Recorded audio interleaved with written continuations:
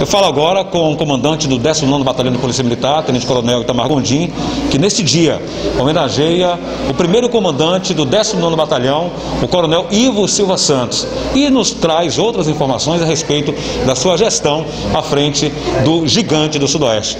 Esta homenagem justa, o que é que motivou o senhor a prestar esta homenagem ao Coronel Ivo Silva Santos? É, bom dia a todos. Na verdade, a gente está fazendo uma série de obras aqui na unidade, mudando a frente, mudando a estrutura. É, tiramos alguns aparelhos de ar-condicionado da frente, colocamos lá para cima. É, e a sala é, voltou a, a, o formato dela original. E já que ela voltou ao formato dela original, que tiveram comandantes que passaram por aqui, entenderam que deveriam colocar uma parede, dividir e tal. Então eu, eu tive a ideia de voltar ao formato original e nada melhor do que você trazer aquela pessoa que lutou, aquela pessoa que correu atrás, aquela pessoa que é, buscou lá atrás, conseguiu o terreno, correr atrás para começar a construção, correu atrás para que a obra fosse entregue. Então você tem que homenagear uma pessoa dessa que, que hoje Hoje o batalhão funciona como funciona porque lá atrás alguém correu atrás para conseguir o terreno, conseguir a obra, conseguir que concretizasse a obra. Então a gente homenageou o coronel Ivo, né? Trouxemos aqui, doutor Maurício Cavalcante também veio, veio representante da CIP Central, do Corpo de Bombeiro, e da Polícia Rodoviária Estadual. A gente fica muito feliz, é uma homenagem simples, mas que é uma homenagem de coração. É, e é uma responsabilidade você criar, você cuidar de um bem público desse, Márcio. É, não, não, chamamos esse, esse, batalhão de gigante do Sudoeste à toa. É, pelos índices, pela visibilidade que ele tem no Estado hoje, pelos índices alcançados, pela redução da criminalidade na, em Jiquié e região. Então, é, é, você cuidar de um bem desse, não pode deixar ir às ruínas um bem desse. Então você tem que estar sempre renovando, cuidando, porque é, os policiais usam as dependências do batalhão. Acaba se tornando a segunda casa né, de vocês.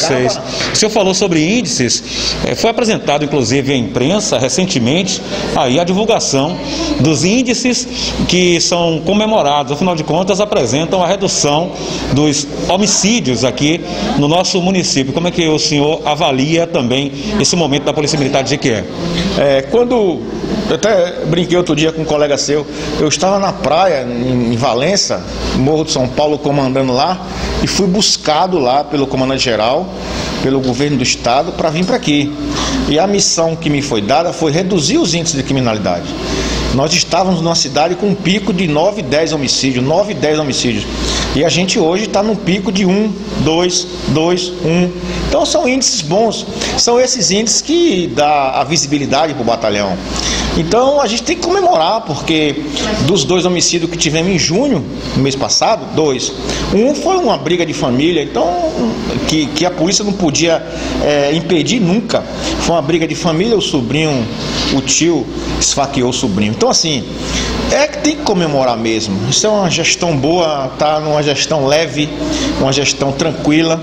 Então, é, a minha missão aqui está sendo cumprida até o dia que o governo do estado entender e o comandante geral entender que precisa ser substituído, está à disposição, está tudo tranquilo.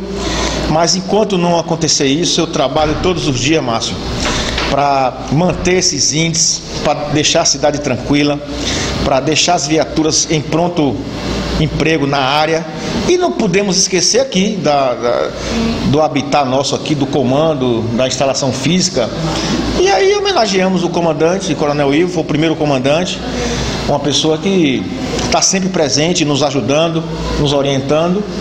E no histórico do batalhão está lá constado quem correu atrás, quem conseguiu o terreno, quem construiu, quem brigou por isso aqui. E tenho certeza que ele tem isso aqui também como a casa dele, como eu tenho também como minha casa. Então é uma coisa que a gente tem que comemorar, mesmo num, numa é, solenidade simples, mas eu agradeço aqui, os oficiais se emocionaram, é, nossos, os representantes dos comandantes aqui se, se emocionaram, foi um momento bom, você participou também. Então eu só tenho que agradecer e bola para frente, segue o fluxo, como eu falo para os oficiais, segue o fluxo, vamos continuar trabalhando. Ok, é o site GQ News acompanhando os acontecimentos, principais acontecimentos da cidade de Jequié.